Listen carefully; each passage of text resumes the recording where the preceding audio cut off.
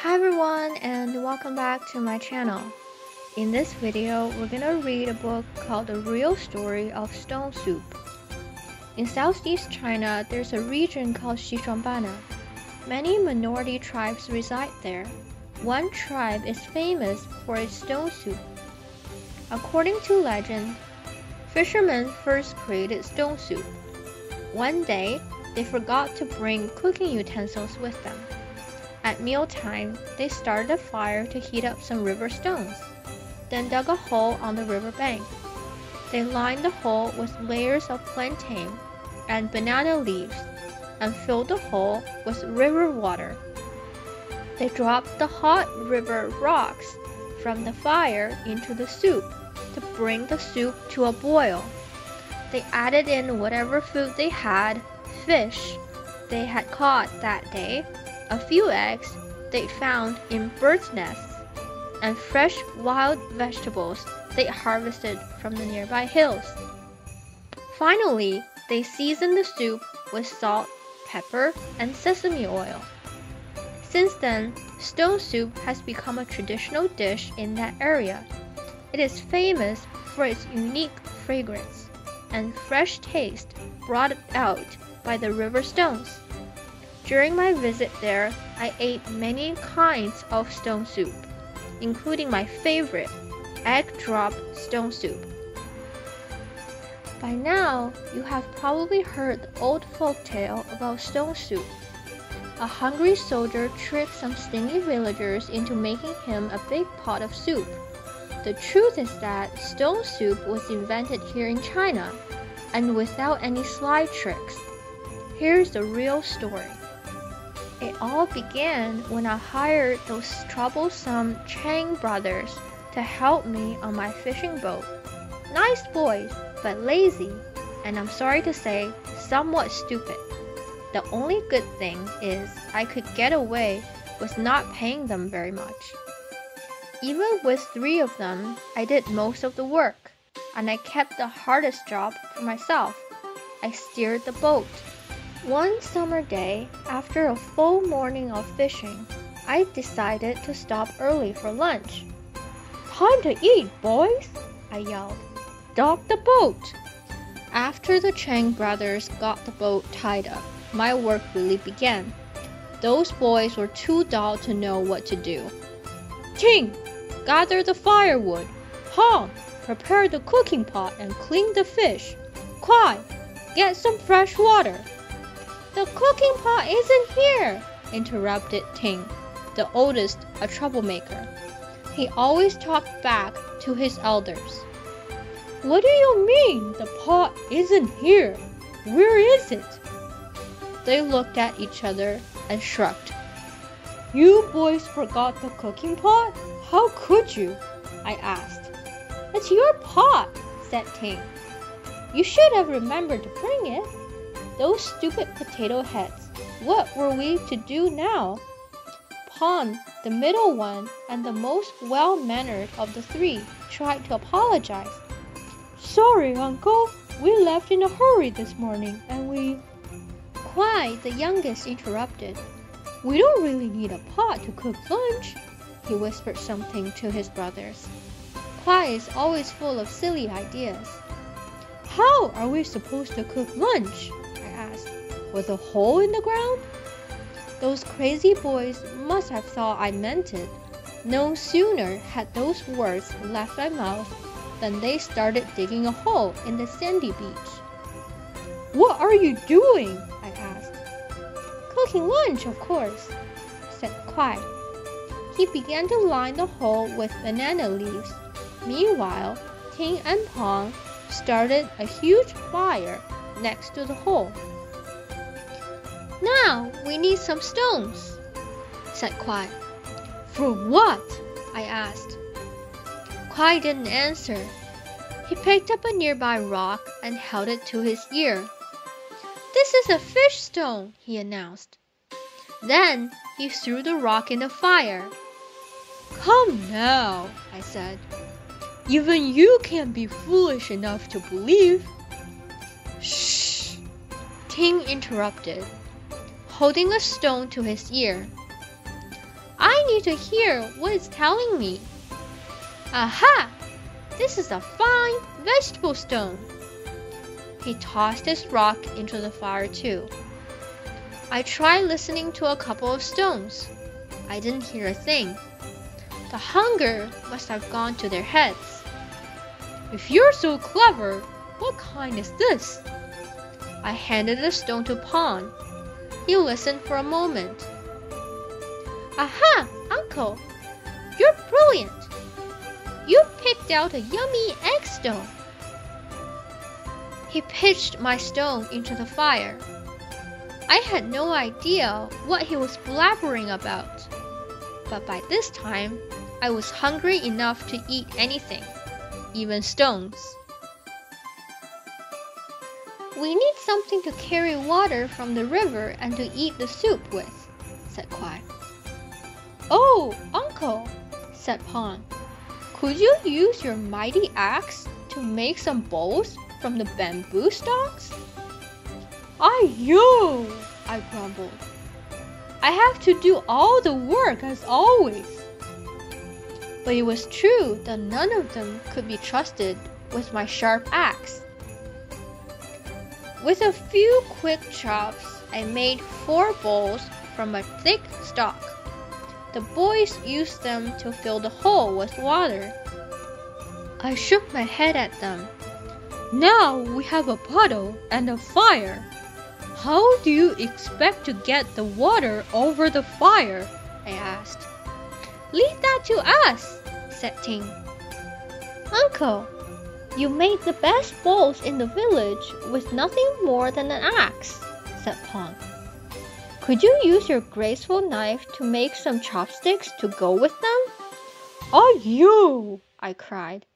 You lazy boys want me to do all the work.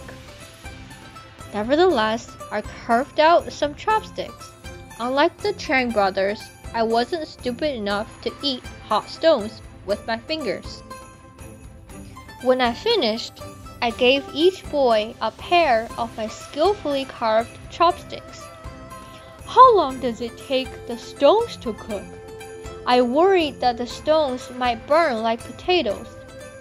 Then I couldn't believe what those crazy boys did next. With long sticks, Ting picked a stone out of the hot fire, and instead of offering it to his elder first, he held it before Kwai and Pong. They didn't eat it though. They whispered to it, "Yoo yoo yu," and blew on it. Then Ting dropped the stone into the hole. Sploosh! Ayo! I yelled. Bubbles of steam shot off the stone as it sank to the bottom. The steam carried a wonderful fish smell. I saw pieces of fish floating in the soup. Those boys had told the truth. It really was a fish stone. My stomach purred like a kitten. Kwai gently stirred the soup. Hmm, this is turning into a tasty soup. If only we had a little salt, it would be a soup fit for a schoolmaster. Ting, I said. Get the salt off the boat. It's your salt. You get it. Ting said rudely. I was too hungry to teach him good manners, so I went to get the salt. As I returned with the salt, Ting picked up the second stone and held it before his brothers. Tai, tai, tai! They whispered the word for vegetables three times and blew on the stone. Ting dropped it into the soup. Shoosh! More steam leaped into the air. Surprisingly, I smelled vegetables. The aroma was so yummy, my stomach growled like an angry tiger. Kwai stirred the soup again and sprinkled in a little salt. This is a wonderful vegetable stone. If only we had a little sesame oil, this would be a soup fit for an emperor, said Kwai. Just a moment, I cried. I'll be right back with the sesame oil. When I returned with the sesame oil, Ting was holding up the last stone. All three boys yelled, Dan, Dan, Dan! Then they each blew hard on the stone, one at a time. Why are you shouting at that stone, you potato heads? I asked. Egg stones don't hear very well, said Ting. He dropped the stone into the soup. Shoo! The hot stone brought the soup to a wild boil. I couldn't believe it when I saw threads of egg float to the top. A luscious fragrance filled the air. Even monkeys came closer to get a whiff. Kwai drizzled in the sesame oil. More delectable smells. By now, I was sure the sound from my hungry stomach could be heard back in the village. Finally, Ting did something right. He filled one of the bamboo bowls with soup and served me, his elder, first. I could hardly wait to taste it. I lifted the steaming bowl to my lips and took a sip. Mmm, hauchi hauchi! I must tell you that I have never tasted such a wonderful soup. The fish from the fish stone was tender and fresh. The wild mushrooms and onions from the vegetable stone were flavorful. The threads of egg from the egg stone were cooked just right. Thanks to the bowls and chopsticks I made, now the boys could enjoy the soup too. The rest of the afternoon, they were happy and even worked a little harder. Not harder than me, of course. From that day on, I always carried rocks in my pockets and told everyone the secret of making stone soup. I even demonstrated how to whisper to fish and vegetable stones and how to yell at egg stones. But the truth is, I still haven't had time to make it. You know, I work too hard already. And that, my friends, is how I invented the real stone soup. I don't know how people ended up with that silly old folktale. And if you're wondering how to make the stone soup, this is how the Chang brothers would have made it if they hadn't forgotten their cooking pot. Heat canola oil in large wok or skillet over medium to high heat. Add garlic, onion, mushrooms. Cook stirring constantly for about 1 minute or until fragrant. Add banana leaf or grape leaf and tomatoes. Reduce heat to medium to low. Cook stirring frequently for 2 minutes. Stir in soup mix and 4 cups of water. Add stones. Bring to a boil. Add fish. Bring to a second boil. Turn off the heat. Stir soup in one direction with a chopstick or fork and slowly pour in the beaten egg so the egg forms long threads. Stir in sesame oil and soy sauce. Garnish with cilantro leaves serve hot. Please note that banana leaves evoke the flavor and aroma of the soup I had in Xishuangbanna. They are available in ethnic stores and the ethnic sections in big supermarkets.